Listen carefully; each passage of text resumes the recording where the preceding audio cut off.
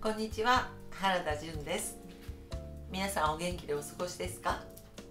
今日はあの前回お話ししたその日本人男性20代から60代まで70%の男性が性に対して自信が持てない。それについてちょっとお話したいと思います、まあ、70%ってすごい数じゃないですか？10人いたら3人ぐらいしかセックスに自信がないんですよ。皆さんの周りにいる男性のほとんどはセックスに自信がない人ばかり。なんかみんな偉そうにしてるけど全然ダメですね。で どうしてそういうことになってるかっていうことなんですけれどもこれはその男性だけの責任ではありませんよ。あの女性も悪いっていうか日本の性文化の問題だと思うんですけれども性に対して率直に話することができない。これは女だけかと思ったらこの間お話ししたように男性も友人と自分が性に対して悩んでいることをちゃんと話せていたい。昔はあの本当かどうかよく分かりませんけれどもその先輩の男性に連れてかれて遊郭みたいなところに行ってなんかいろいろ教えてもらうっていうことがあったんじゃないかなと思うんですけれども最近はそういうこともないですしなんか男も女もセックスに対してはなんかちょっとコソコソしてるっていうかおおらかになれない。気持ちよかった？とかどうだった？とかって聞く男がなんかちょっと嫌われてますけどそれは女が素直に本当のことが言えないからだと思います。やっぱすごい男の人を傷つけると思ってるんですね。女性は。気持ちよくなかったっていうと。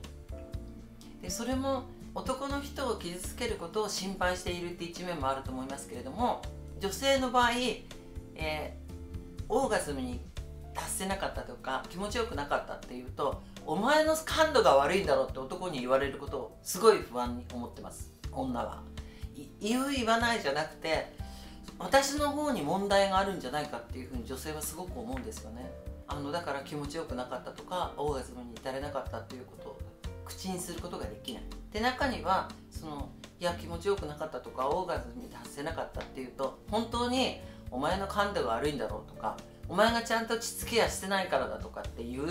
男性がいるらしいんですよ。ほんとひどい。お前は何だよって思わず言い返したくなりますがとにかくちゃんとあの性に対して話ができない。